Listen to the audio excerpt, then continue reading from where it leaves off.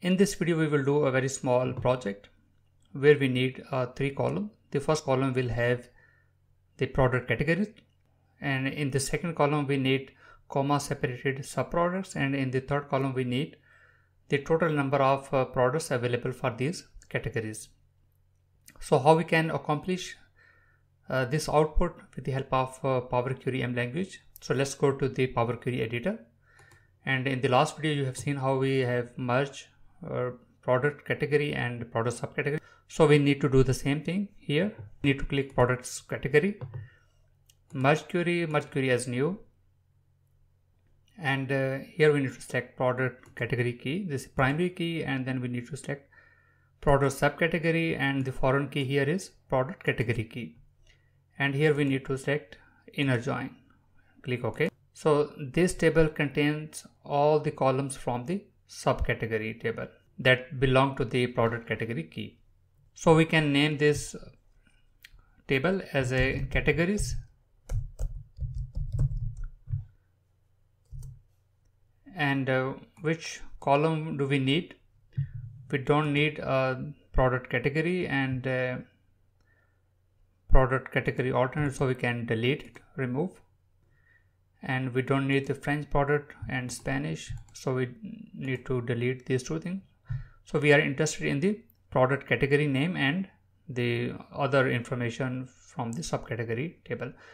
So we need in the sub product subcategory we need um, product subcategory key because uh, we will use subcategory key to get the related products from the product table and we need English product subcategory name. Here you can uncheck use original column name as prefix and uh, then you can click OK and here you can see this is the product subcategory key and this is the English product subcategory name. We can short this name like uh, subcat subcat name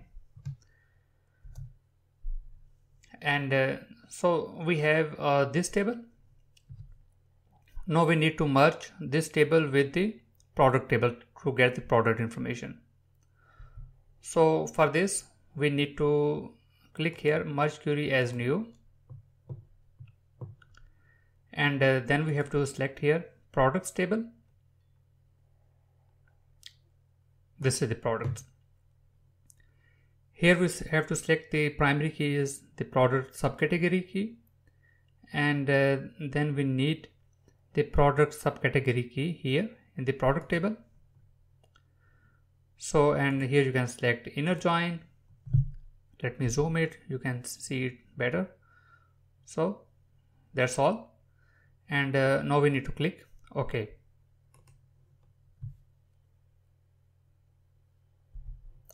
So here you can see we are getting English product category name, subcategory key, subcategory name and this product information. If you click here, you can see the column from the product table. So we are not uh, interested in all the columns from the product table. So we are only interested in the in the product key so that uh, product key so that we, we can count these uh, products. So for this we need to click add column custom column and uh, here we can okay let me change the name here. So we can say it's a final uh, final table for example. This is the name of the the table. So we, we have to do everything here. No no we have uh, product category name product subcategory and the product information. So all the three things as you have seen here the product name the category name subcategory and the product information. So we have everything available in the final table. So we need to add one column here, custom column. And here we have to write, uh, for example, products, pro products underscore key, for example, this is the name of the column.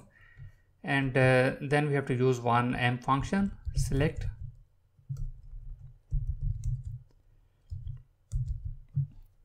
table dot select column and uh, we I, I don't remember the, the name of the the column that we need. So let me click here. So it's a product key p is capital and k is capital. So we need to add custom custom column. And uh, the name of the column is product underscore key. And here we have to write the name of the function. This is select column. The first parameter is is the table. So what is the table? The table is is the products this this column. This is the column that contains tables. So and then the second column we need double quotations and we have to write product key. That's it because we are only interested in in one column. And then we have to let me zoom it so you can see it better. So this is the whole stuff and then we need to click ok. So here you can see if you click here you can see the available product keys that belong to the subcategories right? Because we have a relationship between category to subcategory subcategory to product. So we don't need uh, this column products so we can remove it. And uh, we don't need product category uh, product subcategory key can remove it. And uh, we have the product category name subcategory name and the product information. So here we can add one more column custom column. And uh, then we write one function here. It's like a row count table dot row count. And it needs one table. And the table name is our table is available under product underscore key. We can so that it can count the number of rows. Click ok. And here you can see uh, for example this table this table contain these rows right? And uh, this function is counting these rows so that the, there are 38 values available in this um, column against this bike okay so now we don't need product key table so we can remove it. And uh, now we have uh, like under bike we have mountain bikes and uh, number of products that belong to mountain bikes are 38 road bikes 65 and so on. Now we need a grouping. So we can click home. Uh, we can click on like transform and group by here we have to choose uh, which column we need grouping on the product category name. So this is a product category name and uh, you can change and you can write any any name here. And here we have to choose all rows. That's it. So because we need all the rows against English product category column so we can click OK. Now we are quite near to the output in which we are interested. So here you can see we are having bikes component clothing accessories and now we need uh, these two rows right? So like here for the mountain bike there are 125 and if you click here bike so if we add 38 plus 65 plus 22 we will get the same amount 125 so we will do now step by step to to get um, this output. So now we need subcategory name. So for this we need to use a list and uh, for this we have to add new column custom column. And uh, here we can write subcategory list. And uh, here it will be column.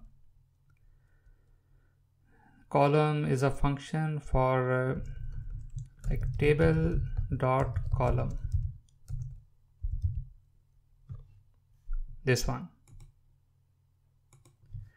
And this function will return us a list. So here we have to provide one table. And what is the the table here is the name of the table is count.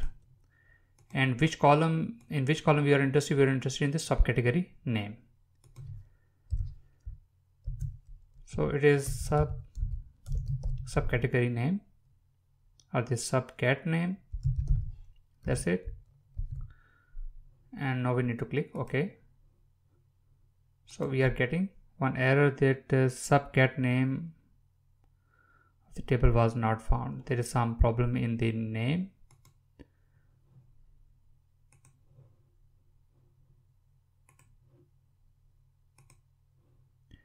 It's a subcat name. I think s is capital. It's a very case sensitive language. And s is capital. This. Click ok. And here you can see we are getting one list that contains mountain bikes road bikes and the touring bikes.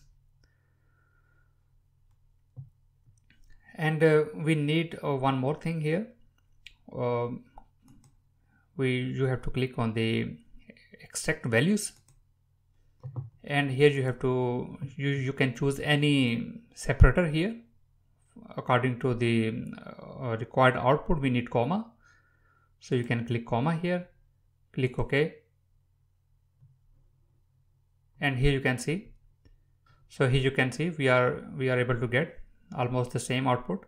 The english product category name and the subcategory name the concatenated subcategory list with the commas with the commas separated list. So now the last point is we need the product uh, count. So for this we need to add one more column here this is the product count. And uh, first we need list uh, table dot column table dot column